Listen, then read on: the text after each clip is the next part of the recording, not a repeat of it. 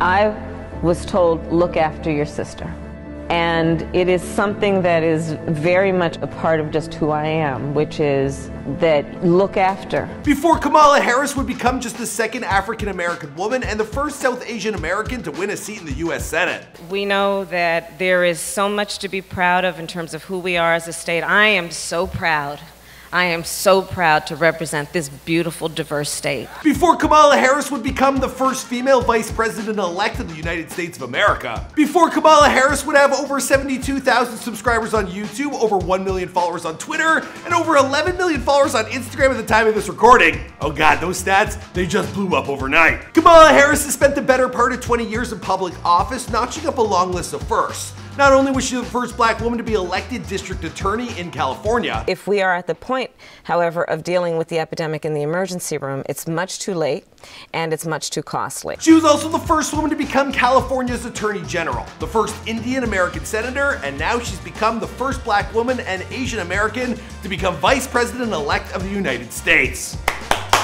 Kamala began her long journey to this moment from her birthplace in Oakland, California, where her Indian mother taught her everything she could need to know to be a strong and powerful woman.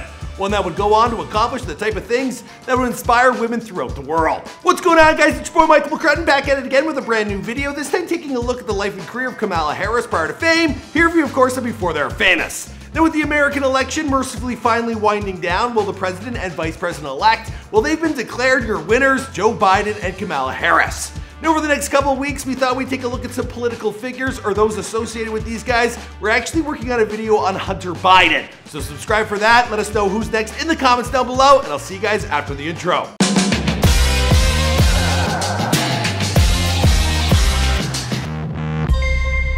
Hey, be sure to subscribe and hit that bell. Boom! Kamala Harris was born on October 20th, 1964 in Oakland, California.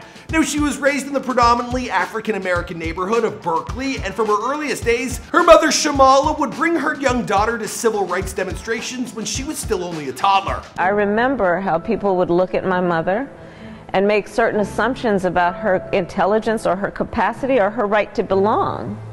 As the eldest child, you see this. Shyamala was an Indian immigrant who came to America to attend the University of California, where she met Kamala's Jamaican-born father Donald. Now the two, they bond over their shared passion for civil movements. While Shyamala, well, she carved out a career for herself as a breast cancer researcher. Now Donald, he became a Stanford University economics professor. Kind of weird that her dad's name's Donald, don't you think? Now, Kamala also has a younger sister, Maya, and their mother, she helped them maintain their ties to India by raising them with Hindu beliefs and taking them back to their home country to visit every few years, where Kamala, she would spend time with her grandparents. Now, her grandfather, he was a high-ranking government official who fought for Indian independence. And her grandmother was an activist who traveled around the country teaching impoverished women about birth control. When we were growing up and we'd go to India, and my grandfather was a little mischievous. So my grandmother, of course, was like strictly no, nothing. If it had a mother, it was not getting eaten. Mm-hmm. And if my grandmother would go out of town, my grandfather would then, um, he'd get very mischievous and he'd say, okay, let's have French toast. When Kamala was seven, well, her parents, they got divorced.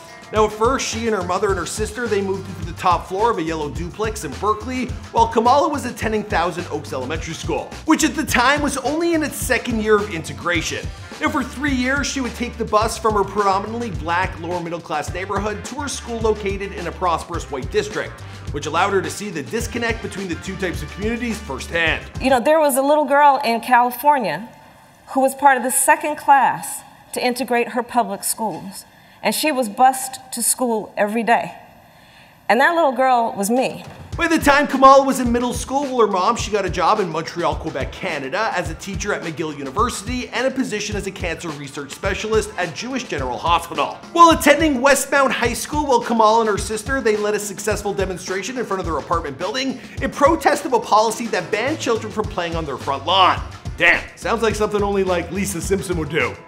I'm late. I've been racking my brain trying to think of something to cut from the budget. Kamala returned to the United States to enter Howard University in Washington, D.C., where she was elected to the Liberal Arts Student Council, and she joined the debate team on her way to earning herself a Bachelor of Arts in Political Science and Economics. She then enrolled at the University of California, Hastings College of the Law, earning herself a JED or Doctor of Jurisprudence. That's in 1989.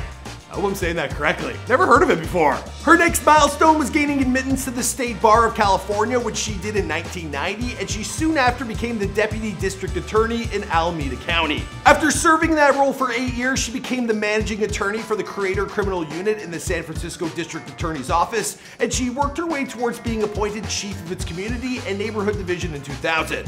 Now, during her time in that role, will she establish the state's first Bureau of Children's Justice. By 2003, she was defeating her former boss, Terrence Hallinan, to become San Francisco's new district attorney.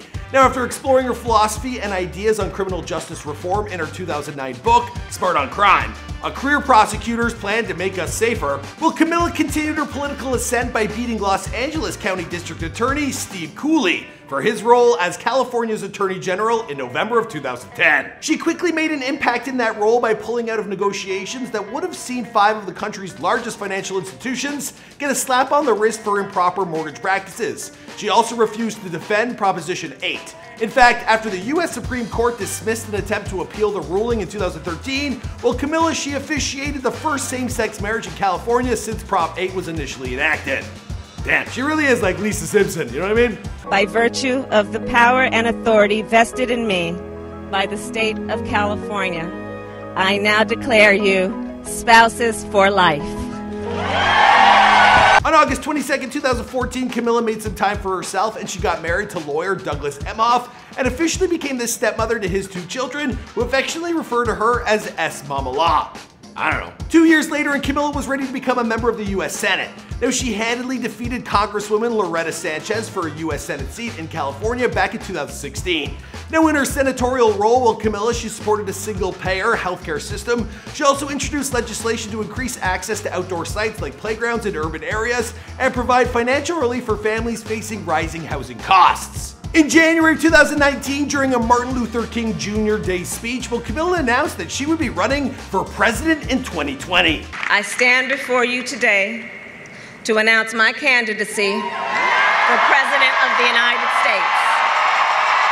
One of the top Democratic candidates, will Kamala joined a crowded field that already included Massachusetts Senator Elizabeth Warren and the, uh, well, the front man that everyone thought would win, Joe Biden. Now, Kamala, she remained one of the top performers in polls over the following weeks and had a strong showing at the first Democratic primary in June of 2019. And that's where she gained headlines for taking Joe Biden to task over his history of opposing federal busing for school integration. Now, the next debate went less smoothly for her after Joe and other candidates criticized her healthcare plan, and polls began to show that she was slipping. By December of 2019, she was calling it quits on her presidential campaign, but her race to the White House, it was far from over. After winning the Democratic Party, well, Joe Biden, he announced in August of 2020 that he had selected Kamala to be his running mate. Now, with this historic moment, well, Kamala would become the first black woman and person of South Asian descent to be nominated for a national office by a major party. Now, a few months later, in fact, just last week actually, well, Kamala and Joe, they defeated Donald Trump and Mike Pence, making Kamala the first female vice president elect. When the election was called on November 7, 2020, well, Kamala, she took to the stage that night to reflect on her journey to this moment and the role her mother played in getting her here. And to the woman most responsible for my presence here today, my mother, Shyamala Gopalan Harris, who is always in our hearts. It truly is the start of a new day that we have before us, and I think Kamala is going to do wonderful things once she gets sworn in this January. As for the rest of her story, well, I think we're gonna wrap this one up here because this is before they were famous. All right, guys, I hope you enjoyed that video. Now, we drop a new video each and every day, so here's a recent drop that you might enjoy.